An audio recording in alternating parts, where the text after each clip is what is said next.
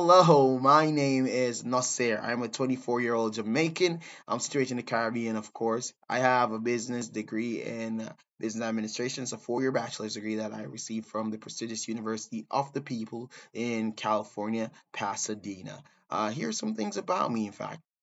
I am a highly committed and adapt an adaptable, technologically savvy individual with a great sense of humor.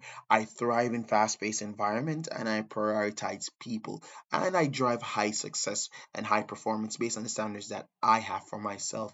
I enjoy acquiring knowledge and dispersing it among my peers and collaborating them on multiple efforts in fact.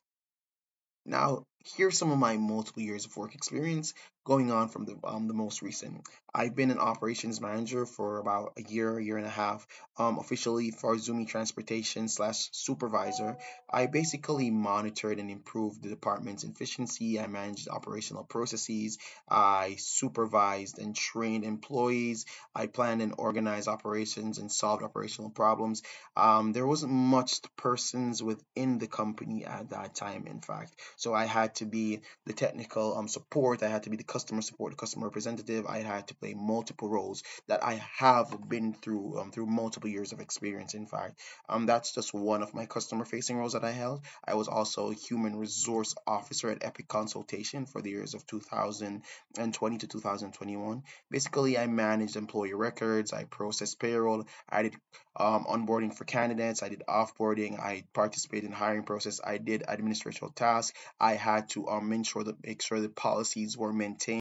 I had to deal with each and every level of the company on a daily basis through and through, including sometimes I did some customer service as well. If I could, um, if I had the ability and the expertise, there's no field or point in the whole company that I wasn't a part of. Um, so I'm a great all rounder and I can dedicate. I am very flexible. I can do AM, PM, uh, multiple shifts. I work on weekends and holidays. Um, here's some more roles that uh, I have done when it comes on to customer facing, a team lead and also a customer service representative at Alorica for um, 2019-2020, an administrative assistant at the municipal corporation in my um, local parish.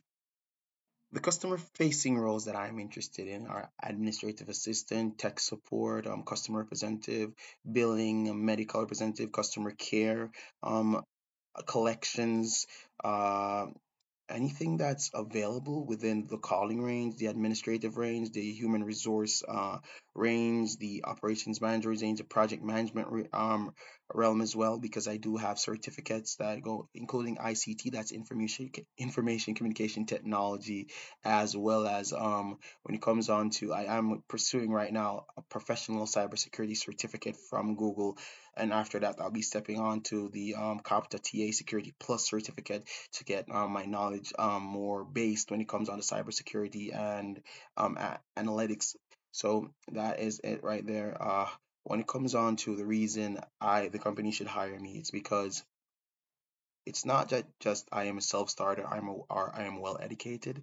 It's that I am dedicated to giving 110% to the company as representative because I would reflect the company um, through my actions, through my thoughts, through my doings, and I need I would demonstrate the prestige of myself and the company's name that I'll be hired for through this platform.